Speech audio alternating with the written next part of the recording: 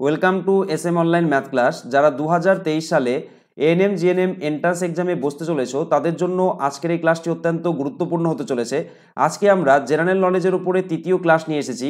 এই ক্লাসে আমরা বিগত বছরে এই এন্ট্রান্স এক্সামে যে সমস্ত জিকের প্রশ্নগুলো এসেছিল, সেগুলো নিয়ে আলোচনা করব। কুড়িটি এমসিকিউ প্রশ্নোত্তর তোমাদের জন্য নিয়ে এসেছি। এই ক্লাসটি যদি তোমরা প্রথম থেকে শেষ পর্যন্ত করো, তাহলে তোমরা বুঝতে পারবে তোমাদের এন্ট্রান্স এক্সামে কেমন ধরনের প্রশ্ন আসে। তোমরা প্রত্যেকে জানো তোমাদের এন্ট্রান্স এক্সামে দশ নম্বরের জিকের প্রশ্ন করা হয়। আমাদের টার্গেট থাকবে এখান থেকে দশে দশ স্কোর করা। তাহলে কিন্তু এন্ট্রান্স এক্সামে ভালো র্যাঙ্ক করার সম্ভাবনা অনেকটাই বেড়ে যাবে। শুধুমাত্র আমাদের চ্যানেলে জেনারেল নলেজ নয় প্রত্যেকটা সাবজেক্টের চ্যাপ্টার ওয়াইজ ধারাবাহিক কিন্তু ক্লাস অলরেডি শুরু হয়ে গেছে। এই ক্লাসগুলো নিয়মিত সবার আগে পাওয়ার জন্য তোমরা অবশ্যই আমার এই চ্যানেলটিকে সাবস্ক্রাইব করবে। আর পাশে দেখো একটা বেল বটন রয়েছে, সেটাকেও বাজিয়ে দাও, যাতে ভিডিও আসার সাথে সাথে তোমাদের ফোনে নোটিফিকেশান চলে যায়। তো আজকের এই ক্লাসে আমরা যে বাইশ সালের তোমার শিফট ওয়ান ঠিক আছে? বাইশ সালের শিফট ওয়ান আর শিফট টু এ যে সমস্ত জিকের প্রশ্নগুলো এসেছিল সেগুলো নিয়ে কিন্তু আমি আলোচনা করব। তো দেখো, প্রথম প্রশ্নটি কি রয়েছে? দেখো, প্রথম প্রশ্নে রয়েছে, এক নম্বর প্রশ্নে রয়েছে, ভারতের কোন শহরকে নীল শহর বলা হয়? ঠিক আছে? অপশন এতে রয়েছে ব্যাঙ্গালোর বিতে রয়েছে আগ্রা সিতে রয়েছে যোধপুর ডিতে রয়েছে দিল্লি। এখানে সঠিক উত্তর হবে নীল শহর বলা হয় হচ্ছে যোধপুরকে, ঠিক আছে? নীল শহর কাকে বলা হয়? যোধপুরকে। তাহলে অপশন সি এক্ষেত্রে সঠিক অ্যান্সার হয়ে যাচ্ছে, ঠিক আছে? বাকি অপশনগুলো খেয়াল করো, এই যে ব্যাঙ্গালোর রয়েছে, তোমরা মনে রেখো যে ব্যাঙ্গালোরকে কিন্তু উদ্যান নগরী বলা হয়। ব্যাঙ্গালোরকে কি বলা হয়? উদ্যান নগরী বলা হয়। আমি এগুলো লিখে দিচ্ছি, এখান থেকে প্রশ্ন আসার কিন্তু সম্ভাবনা থেকেই যায়। ওর জন্য আমি লিখে দিচ্ছি এগুলো। ব্যাঙ্গালোরকে কি বলা হয়? উদ্যান নগরী বলা হয়, ঠিক আছে? তারপরে দেখো আর একটা জিনিস তোমরা মাথায় রাখবে, নীল শহর তো যোধপুর হলো, গোলাপি শহর, ঠিক আছে? এখান থেকেও বারবার প্রশ্ন আসে পরীক্ষায়, গোলাপি শহর। গোলাপি শহর কাকে বলে? গোলাপি শহর তোমরা মাথায় রাখবে, জয়পুরকে বলা হয়। গোলাপি শহর কাকে বলে? জয়পুরকে বলা হয়, ঠিক আছে? জয়পুর, গোলাপি শহর হচ্ছে জয়পুর। এবার দেখব আমরা নেক্সট প্রশ্ন কি রয়েছে। দেখো, দুই নাম্বার প্রশ্ন, দুই নাম্বার প্রশ্নটিতে রয়েছে সোডিয়াম বাইকার্বনেট সাধারণত কি নামে পরিচিত? সোডিয়াম বাইকার্বনেট কি নামে পরিচিত? Option A, baking powder, option B, সাধারণ লবণ, অপশন সি, ভিনিগার, আর ডি হচ্ছে অজিনোমোটো, ঠিক আছে? এখানে সঠিক উত্তর হবে সোডিয়াম বাইকার্বনেট বেকিং পাউডার নামে পরিচিত, ঠিক আছে? সোডিয়াম বাইকার্বনেটের সাধারণ নাম হচ্ছে কি বলতো? Baking powder. এই বেকিং পাউডারের সংকেতটা কি? তোমাদের যদি জানতে চাওয়া হয়, বেকিং পাউডারের সংকেত কি বা সোডিয়াম বাইকার্বনেটের সংকেত কি? সেক্ষেত্রে তোমরা বলবে N A H CO three এটা হচ্ছে বেকিং পাউডার বা সোডিয়াম বাইকার্বনেটের সংকেত, ঠিক আছে? এন এ সিও থ্রি এটা হচ্ছে সোডিয়াম বাইকার্বনেট বা বেকিং পাউডারের সংকেত মানে অপশন এ এক্ষেত্রে সঠিক অ্যান্সার হয়ে যাচ্ছে। আর এখানে দেখো অপশন বিতে রয়েছে লবণ, সাধারণ লবণ। এই সাধারণ লবণকে কি বলা হয় বলতো? সাধারণ লবণের রাসায়নিক নাম হচ্ছে তোমার সোডিয়াম ক্লোরাইড। কি বলে ওটাকে? Sodium chloride. সেই সোডিয়াম ক্লোরাইডের সংকেত হচ্ছে এন এ সিএল এটা হচ্ছে সোডিয়াম ক্লোরাইড ঠিক আছে? এন হচ্ছে সোডিয়াম ক্লোরাইড আর দেখো ভিনিগার এই ভিনিগারকে কি বলা হয় বলতো? রাসায়নিক নাম হচ্ছে লঘু অ্যাসিটিক অ্যাসিড কি বলতো? ভিনিগার লঘু অ্যাসিটিক অ্যাসিড তো সেটা সংকেত কি? সংকেতটা হচ্ছে CH three C O O H এটা হচ্ছে ভিনিগারের সংকেত, ঠিক আছে? আর এই দেখো ডি নাম্বার অপশন যেটা রয়েছে, অজিনোমোটো, এই জিনিসটা তোমরা মাথায় রাখবে যে যে সমস্ত ফাস্টফুড খাবারগুলো রয়েছে মোমো, চাউমিন এগুলোতে কিন্তু মেশানো হয়। কেন মেশানো হয়? যাতে তোমার সেই খাবারের স্বাদ এবং গন্ধের পরিমাণটা কিন্তু বেড়ে যায়, স্বাদ বেড়ে যায়। অজিনোমোটো মেশালে কি হয়? স্বাদ এবং গন্ধের পরিমাণটা কিন্তু বেড়ে যায়, ঠিক আছে? কিন্তু অতিরিক্ত পরিমাণে যদি অজিনোমোটো মেশানো হয়, সেটা কিন্তু শরীরের পক্ষে ক্ষতিকারক। এবার দেখব আমরা তিন নাম্বার প্রশ্নটি কি রয়েছে? দেখো, তিন নাম্বার প্রশ্নটিতে রয়েছে, মানব দেহের বৃহত্তম অস্থি কোনটি? সবথেকে বড় অস্থি কোনটি? অপশন এতে রয়েছে হিউমেরাস বিতে রয়েছে ফিমার, আর সিতে রয়েছে ককিএক্স, আর ডিতে রয়েছে ক্যালকেনাস। ঠিক আছে? এখানে সঠিক উত্তর হবে মানুষের বৃহত্তম অস্থির নাম হচ্ছে ফিমার। ঠিক আছে? মানে অপশন বি এক্ষেত্রে সঠিক অ্যান্সার। ফিমারটা কোন হার বলতো আমাদের উরুতে যে হারটা রয়েছে সেটাকে কিন্তু ফিমার বলা হয়ে থাকে। আর একটা তথ্য তোমরা মাথায় রাখবে সব থেকে ছোট অস্থি বা ক্ষুদ্রতম অস্থি হচ্ছে স্টেপিস ঠিক আছে? স্টেপিসটা হচ্ছে সব থেকে ছোট। এটা কোথায় থাকে? স্টেপিস এই অস্থিটা কানে থাকে। স্টেপিসটা কোথায় থাকে? কানে। ঠিক আছে? কানে থাকে। এই স্টেপিসটা সব থেকে ছোট হার। এরপরে দেখব চার নাম্বার প্রশ্ন। দেখো চার নাম্বার প্রশ্নটিতে রয়েছে, প্রতি বছর বিশ্ব রেড ক্রস ও রেড ক্রিসেন্ট দিবস পালিত হয় কোন দিনে? ঠিক আছে? রেড ক্রুশ এবং হচ্ছে রেড ক্রিসেন্ট দিবস কোন দিন পালিত হয়? অপশন এ রয়েছে আটই জুন, অপশন বি আঠেরোই জুন, অপশন সি আটই মে এবং হচ্ছে অপশন ডি আঠেরোই মে। এখানে সঠিক উত্তর কোনটা হবে? সঠিক উত্তর হবে আটই মে। এই তারিখে কিন্তু বিশ্ব রেড ক্রুশ এবং হচ্ছে রেড ক্রিসেন্ট দিবস কিন্তু পালিত হয়। মানে অপশন সি এক্ষেত্রে সঠিক অ্যান্সার হয়ে যাচ্ছে। পরের প্রশ্ন আমরা দেখব। দেখো, পরের প্রশ্নে যাওয়ার আগে তোমাদেরকে জানিয়ে রাখি যারা আমাদের এই ক্লাসগুলোর পিডিএফ ফাইল পেতে চাও, তারা অবশ্যই কিন্তু আমাদের ফ্রি টেলিগ্রাম চ্যানেলে যুক্ত হয়ে যাও, কারণ সেখানে কিন্তু এই ক্লাসগুলোর পিডিএফ ফাইল তোমরা পেয়ে যাবে। শুধুমাত্র পিডিএফ ফাইলই নয়, তোমাদের এন্ট্রান্স এক্সাম সম্পর্কিত যদি কোনো আপডেট আসে, সেখানে কিন্তু তোমাদের সবার আগে জানিয়ে দেওয়া হবে। এই তোমাদের টেলিগ্রাম চ্যানেলটার লিঙ্ক কিন্তু এই ভিডিও ডিসক্রিপশনে আমি দিয়ে রাখব। সেখান থেকে সরাসরি তোমরা জয়েন করে যেতে পারবে। পরের প্রশ্ন দেখব কি রয়েছে। দেখো, পাঁচ নাম্বার প্রশ্নটিতে রয়েছে, প্রখ্যাত শ্রীমতী মীরা সাহেব ফতিমা বিবি ছিলেন। ফতিমা বিবি কে ছিলেন? অপশন এ, পাকিস্তানের প্রথম মহিলা প্রধানমন্ত্রী। অপশন বি, পশ্চিমবঙ্গের জেলা আদালতের প্রথম মহিলা বিচারপতি। অপশন সিতে রয়েছে ভারতের কোনো রাজ্যের প্রথম মহিলা মুখ্যমন্ত্রী। অপশন ডিতে রয়েছে ভারতের সুপ্রিম কোর্টের প্রথম মহিলা বিচারপতি। এখানে সঠিক উত্তর হবে যে মীরা সাহেব ফতেমা বিবি ছিলেন ভারতের সুপ্রিম কোর্টের প্রথম মহিলা বিচারপতি মানে অপশন ডি, এক্ষেত্রে কিন্তু সঠিক অ্যান্সার হয়ে যাবে, ঠিক আছে? তিনি কিন্তু মুসলিম মহিলা, প্রথম মুসলিম মহিলা বিচারপতি ছিলেন সুপ্রিম কোর্টের।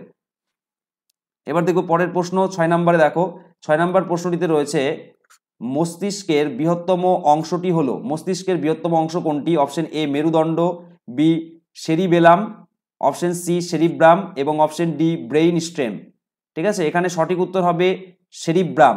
ঠিক আছে? সেরিব্রাম হচ্ছে মস্তিষ্কের বৃহত্তম অংশ। সেরিব্রাম বা গুরু মস্তিষ্ক একই কথা, ঠিক আছে? তাহলে অপশন সি এক্ষেত্রে কিন্তু সঠিক অ্যান্সার হয়ে যাচ্ছে। তোমরা মাথায় রাখবে সেরিব্রাম বা গুরু মস্তিষ্কের কাজ কি? প্রাণীর স্মৃতি, চিন্তা, বুদ্ধি, শিক্ষা, চাপ, তাপ, তারপরে স্পর্শ, যন্ত্রণা ইত্যাদি জিনিস কিন্তু সেরিব্রাম বা গুরু মস্তিষ্ক কিন্তু নিয়ন্ত্রণ করে থাকে। পরের প্রশ্ন আমরা দেখব সাত নাম্বার। দেখো, সাত নাম্বার প্রশ্নটিতে রয়েছে সাত নম্বর প্রশ্নে রয়েছে, কোন এম ভ্যাকসিনটিকে ভারতে প্রথম আপতকালীন প্রয়োগের লাইসেন্স দেওয়া হয়েছে? অপশন এতে রয়েছে স্পুটনিক বিতে রয়েছে সিনোভ্যাক, আর সিতে রয়েছে Moderna M R N A এক হাজার দুশো তিয়াত্তর, আর ডিতে রয়েছে ফাইজার ভ্যাকসিন। এখানে সঠিক উত্তর হবে আমাদের option C, Moderna M R N A এক হাজার দুশো তিয়াত্তর। তাহলে অপশন সি এক্ষেত্রে সঠিক অ্যান্সার হয়ে যাচ্ছে, ঠিক আছে? পরের প্রশ্ন আমরা দেখব, আট নম্বরে আট নম্বরে প্রশ্ন রয়েছে, কাকে উড়ন্ত শিখ বলা হয়? উড়ন্ত শিখকে option A, Milkha Singh, option B P T Usha option C, Jagat Singh, option D, Sourav Ganguly. এখানে সঠিক উত্তর হবে, মিলখা সিং হচ্ছে উড়ন্ত শিখ। মানে অপশন এ, এক্ষেত্রে সঠিক অ্যান্সার হয়ে যাচ্ছে। নেক্সট প্রশ্ন চলে যাব। দেখো, পরের প্রশ্নে রয়েছে নয় নাম্বার, ইতালিয়ান জ্যোতির্বিদ গ্যালোলিও। ঠিক আছে? গ্যালোলিও সম্পর্কে তথ্য দেওয়া আছে, কোনটা সঠিক? অপশন এতে রয়েছে দূরবীক্ষণ যন্ত্রের আবিষ্কারক ছিলেন অপশন বি, বৃহস্পতি গ্রহের চারটি উপগ্রহ আবিষ্কার করেছিলেন। অপশন সি, আবিষ্কার করেছিলেন যে পেন্ডুলাম সময়ের সুষম পরিমাপ দেয়। অপশন ডি ওপরে সবকটি সত্য। এখানে দেখো সঠিক উত্তর হবে, উপরে সবগুলি তত্ত্বই কিন্তু সঠিক, ঠিক আছে? দূরবীক্ষণ যন্ত্র আবিষ্কার করেছিলেন গ্যালোলিও, ঠিক আছে? বৃহস্পতির গ্রহের যে চারটি উপগ্রহ সেটা আবিষ্কার করেছিলেন। তারপরে তোমার আবিষ্কার করেছিলেন যে পেন্ডুলাম সময়ের সুষম পরিমাপ দেয়, ঠিক আছে? এই চারটে তিনটে তথ্যই কিন্তু তোমার জ্যোতির্বিদ গ্যালোলিও সম্পর্কে সঠিক, ওর জন্য অপশন ডি এটা সঠিক হয়ে যাচ্ছে। পরের প্রশ্ন আমরা দেখব। দশ নাম্বার, দেখো দশ নাম্বার প্রশ্নটিতে রয়েছে, পৃথিবীর সবচেয়ে জনবহুল শহর কোনটি? পৃথিবীর সবচেয়ে জনবহুল শহর অপশন এতে রয়েছে নিউ ইয়র্ক বিতে রয়েছে বেজিং সিতে রয়েছে মুম্বাই ডিতে রয়েছে টোকিও। ঠিক আছে? এখানে সঠিক উত্তর হবে টোকিও, পৃথিবীর সবথেকে জনবহুল শহর। মানে অপশন ডি এক্ষেত্রে সঠিক অ্যান্সার আর মাথায় রাখবে মুম্বাই যেটা রয়েছে, সেটা কিন্তু ভারতের সবথেকে জনবহুল শহর, ভারতের জনবহুল শহর, ঠিক আছে? এখান থেকে প্রশ্ন যদি আসতো, ভারতের জনবহুল শহর কোনটা, তখন তোমরা বলবে মুম্বাই। ভারতের জনবহুল শহর হচ্ছে মুম্বাই। নেক্সট প্রশ্ন আমরা দেখব, এগারো নম্বর। এগারো নম্বর প্রশ্নটিতে রয়েছে, প্রথম কোন ভারতীয় নোবেল পুরস্কার পান? নোবেল পুরস্কার কে প্রথম পান? অপশন, তোমার এতে রয়েছে জওহরলাল নেহরু বিতে রয়েছে সিভি রমন এবং সিতে ডক্টর অমর্ত্য সেন ডিতে রবীন্দ্রনাথ ঠাকুর। এখানে দেখো রবীন্দ্রনাথ ঠাকুর প্রথম কিন্তু ভারতবর্ষের মধ্যে নোবেল পুরস্কার পান। কত সালে? উনিশশো তেরো সালে তিনি নোবেল পুরস্কার পান গীতাঞ্জলির জন্য। ঠিক আছে? তোমরা প্রত্যেকেই জানো গীতাঞ্জলির জন্য কিন্তু নোবেল পুরস্কার পান। ঠিক আছে? গীতাঞ্জলি। আমি এখানে লিখে দিচ্ছি, গীতাঞ্জলির জন্য তিনি উনিশশো তেরো সালে নোবেল পুরস্কার পেয়েছিলেন। ঠিক আছে? তিনি কিন্তু এশিয়ার মধ্যে প্রথম পুরুষ যিনি যিনি নোবেল পুরস্কার পেয়েছেন। আর দেখো, এই যে বাকি যে দুজন রয়েছে সিবি রমন, ইনিও কিন্তু পদার্থবিদ্যার জন্য নোবেল পুরস্কার পেয়েছিলেন। পদার্থবিদ্যার জন্য ইনিও কিন্তু নোবেল পুরস্কার পেয়েছিলেন, পদার্থবিদ্যায়। ঠিক আছে? আর এই যে অমর্ত্য সেন, এই অমর্ত্য সেনও কিন্তু অর্থনীতির জন্য নোবেল পুরস্কার পেয়েছিলেন। অর্থনীতিতে নোবেল পুরস্কার পেয়েছিলেন হচ্ছে অমর্ত্য সেন। এবার দেখব পরের প্রশ্ন কি রয়েছে। দেখো, বারো নম্বর প্রশ্নটিতে রয়েছে, লাক্ষাদ্বীপ অবস্থিত। কোন মহাসাগর অবস্থিত? অপশন এতে রয়েছে আটলান্টিক মহাসাগর, বিতে রয়েছে বঙ্গোপসাগর, সিতে প্রশান্ত মহাসাগর, ডিতে আরব সাগর। এখানে সঠিক উত্তর হবে, লাক্ষাদ্বীপ হচ্ছে আরব সাগরে অবস্থিত। মানে অপশন ডি এক্ষেত্রে সঠিক অ্যান্সার, ঠিক আছে? অপশন ডি এক্ষেত্রে সঠিক অ্যান্সার। মাথায় রাখবে, লাক্ষাদ্বীপের রাজধানীর নাম হচ্ছে কাভারাত্রি। লাক্ষাদ্বীপের রাজধানীর নাম কি বলতো? কাভা রাত্রি এটা আমি একটু লিখে দিলাম। প্রশ্ন আসলেও আসতে পারে জিকেতে, ঠিক আছে? কাভারাত্রি, এটা কি বলতো? রাজধানী। লাক্ষাদ্বীপের রাজধানীর নাম হচ্ছে কাভারাজ, রাত্রি। এবার আমরা দেখব পরের প্রশ্ন। নেক্সট প্রশ্ন কি রয়েছে? নেক্সট প্রশ্নে যাওয়ার আগে তোমাদের জন্য গৌতম বুদ্ধের বুদ্ধের একটা একটা উক্তি তোমাদের জন্য রেখেছি। দেখো, তিনি কি বলছেন? যদি কোনো কাজকে করার প্রয়োজন মনে করো, নিজের মন প্রাণ বিলীন করে করো সফল তুমি হবেই, ঠিক আছে? তোমরা যদি কোনো কাজকে মন থেকে করতে চাও, তাহলে কিন্তু তোমরা প্রত্যেকেই সফল হবে, ঠিক আছে? তোমরা যদি এই এন্ট্রান্স এক্সামের জন্য ভালো মতো পড়াশোনা করো, ঠিক আছে? এখনও মোটামুটি চার পাঁচ মাস সময় রয়েছে, এই প্রত্যেকটা সময়কে তোমরা যদি ভালো মতো ব্যবহার করো, তোমরা প্রত্যেকেই কিন্তু এন্ট্রান্স এক্সামে ভালো র্যাঙ্ক করতে পারবে, যা দিয়ে তোমরা সরকারি স্কুলে কিন্তু চান্স পেয়ে যাবে। দেখো, তেরো নম্বর প্রশ্নটিতে রয়েছে থিওরি অফ রিলেটিভিটি বা আপেক্ষিকতা তত্ত্ব প্রবর্তন করেন। আপেক্ষিকতা তত্ত্ব কে প্রবর্তন করেন? অপশন এতে রয়েছে টমাস আলভা এডিসন, অপশন বিতে রয়েছে অ্যালবার্ট আইনস্টাইন সিতে রয়েছে মার্কনি ডিতে রয়েছে জেমস ওয়ার্ড। এখানে সঠিক উত্তর কোনটা হবে? এখানে সঠিক উত্তর হবে আলবার্ট আইনস্টাইন, ঠিক আছে? আপেক্ষিকতা তত্ত্বের প্রবক্তা ছিলেন আলবার্ট আইনস্টাইন। মানে অপশন বি এক্ষেত্রে সঠিক অ্যান্সার। নেক্সট প্রশ্ন আমরা দেখব। বলছে নেক্সট প্রশ্নে চোদ্দ নম্বরে রয়েছে, নিচের কোনজন চতুর্থ ভারতীয় গ্র্যান্ড স্ল্যাম বিজেতা? ঠিক আছে? চতুর্থ ভারতীয় গ্র্যান্ড স্ল্যাম বিজেতা। অপশন এ রয়েছে সানিয়া মির্জা, বি রয়েছে রোহন বাপান্না, তারপরে সিতে রয়েছে মহেশ ভূপতি, ডিতে রয়েছে লেন্ডার প্রেস। ঠিক আছে? এখানে সঠিক উত্তর হবে যে চতুর্থ চতুর্থ হচ্ছে রোহন বাপান্না। অপশন বি এক্ষেত্রে সঠিক অ্যান্সার হবে। এখানে প্রত্যেকেই কিন্তু তোমার ভারতীয় গ্র্যান্ড স্ল্যাম ঠিক আছে? এই যে লেন্ডার পেস ইনি এক নাম্বার এটা এক নাম্বারে ঠিক আছে? ল্যান্ডার পেসটা কি বলতো? এক নাম্বারে মহেশ ভূপতি দুই নাম্বারে আর হচ্ছে সানিয়া মির্জা তিন নাম্বারে আর রোহন বাপান্নাট হচ্ছে চার নাম্বারে ঠিক আছে? চতুর্থ, রোহন বাপান্না পরের প্রশ্ন দেখব পনেরো নাম্বার পনেরো নাম্বার প্রশ্নটিতে রয়েছে, আলজাইমার রোগটি মানবদেহের কোন অংশকে আক্রান্ত করে? অপশন এতে রয়েছে কান, বিতে মস্তিষ্ক, সিতে চোখ, আর ডিতে পাকস্থলী। তোমরা মাথায় রাখবে আলজাইমার রোগটি মস্তিষ্ককে কিন্তু আক্রান্ত করে, ঠিক আছে? অপশন বি এক্ষেত্রে সঠিক অ্যান্সার। তো এই আলজাইমার রোগটি কি? আলজাইমার রোগটা হচ্ছে বার্ধক্যজনিত রোগ। কি রোগ? বার্ধক্যজনিত রোগ। বার্ধক্যজনিত রোগ, ঠিক আছে? বার্ধক্যজনিত রোগ, এটা আলজাইমার। স্নায়বিক অবক্ষয়ের কারণে এটা হয়, স্নায়বিক অবক্ষয়ের কারণে হয়। এই রোগে আক্রান্ত হলে উত্তরোত্তর মানে দিন যত যায় তত কিন্তু তার স্মৃতিশক্তি হারিয়ে যেতে শুরু করে। ঠিক আছে? স্মৃতিশক্তি কমে যেতে শুরু করে এই রোগে আক্রান্ত লোকদের। পরের প্রশ্ন দেখব ষোলো নাম্বার। দেখো ষোলো নাম্বার প্রশ্নে রয়েছে, ডক্টর জাকির হোসেন ছিলেন। ডাক্তার জাকির হোসেন কে ছিল? অপশন এ, ভারতের প্রথম উপরাষ্ট্রপতি। অপশন বি, ভারতের প্রথম মুসলিম রাষ্ট্রপতি। অপশন সি, লোকসভার প্রথম স্পিকার।